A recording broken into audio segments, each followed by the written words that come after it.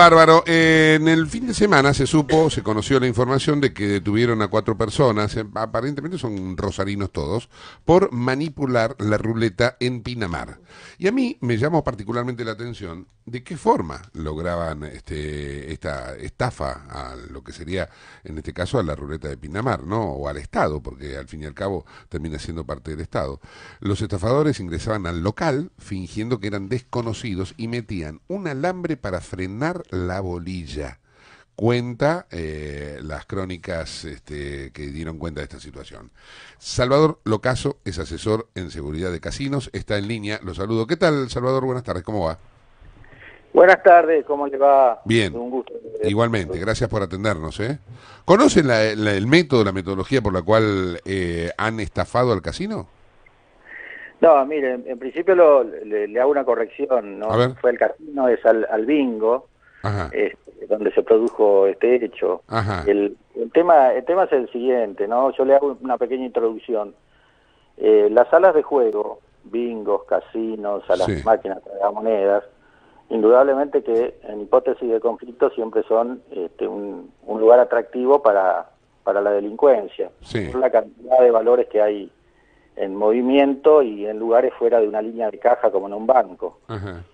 Por ende, eh, muy eh, común, entre comillas, aunque no de manera habitual, que existan gente que generalmente está asociada a conocimientos eh, eh, mecánicos, a conocimientos técnicos de estos elementos de las máquinas, en este caso de esta ruleta, y conocen las debilidades o los puntos flacos que tienen y intentan y aprovechan buscando las horas de, eh, apropiadas, las horas de la madrugada, eh, eh, utilizando estrategias de, disuasión, de, confundir al, personal de seguridad, pero indudablemente acá los controles existen, la seguridad existe, es una seguridad especializada en esto, se nutre del movimiento de, ganancia de las máquinas y cuando las máquinas eh, están perdiendo en forma asidua, indudablemente esto despierta una alerta y se empieza a controlar de manera más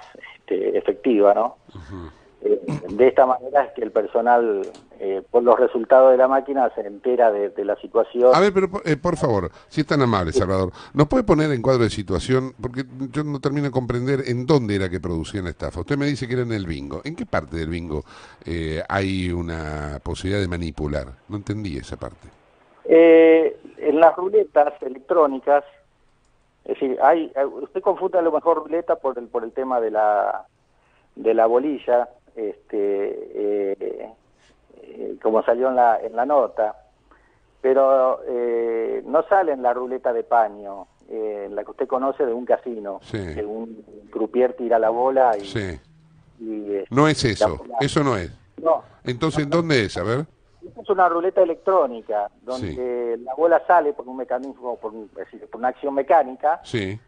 y, gira eh, en, un plato que es un cilindro, igual que el cilindro que se en la mesa, pero en forma... Acá dice, realizaban un agujero en el costado de una de las ruletas que tiene una cúpula de acrílico.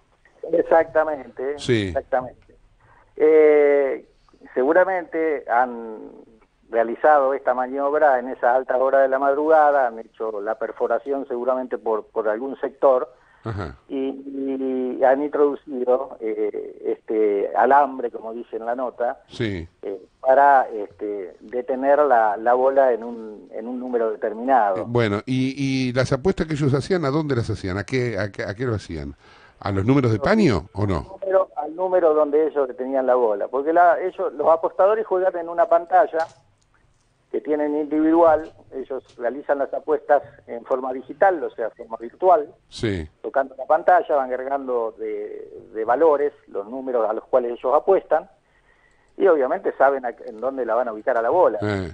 por eso es que un grupo de gente que trabaja al efecto. No es, el, único tipo de maniobra, usted le ha llamado la atención por el tema de la ruleta, pero eh, el año pasado un grupo de también de cuatro o cinco personas este, estuvieron delinquiendo en Perú, Chile, Argentina, en Mendoza, en Mar del Plata.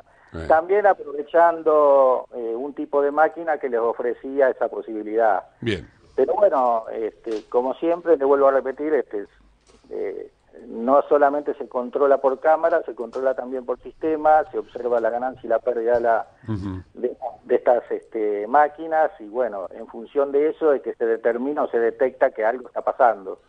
Bien. Y se afina el control y se detecta la maniobra, ¿no? Y lo logran detectar. Le agradezco mucho, Salvador, muy, muy amable. ¿eh? No, al contrario. Chao, hasta luego. Salvador Locaso es asesor de seguridad de casinos.